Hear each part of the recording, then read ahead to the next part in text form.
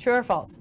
You should have an orgasm on the day of your transfer to increase chances for pregnancy. Now that's an interesting question. I haven't been asked recently. Let me think about that. False. well, there's so many things people read online.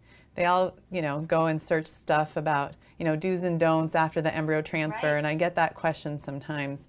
I. I'm sure that um, you have that experience. You know, I like to too. say whatever you think is going to make it work. So right. if that's going to make it work for you, yeah. go for it. Go for it. Love it. Okay. True or false? If you don't transfer within six months of the embryos being created, your embryo will have freezer burn. Um, that happens at my house, but not with embryos. That's a good one. I say that too. It happens in my freezer. That's very true. Yeah. So luckily with vitrification, there's not a downside of long-term storage of these mm-hmm. embryos. It's wonderful because it allows you to have adequate birth spacing and be mm-hmm. ready for a second baby mm-hmm. before you use those embryos.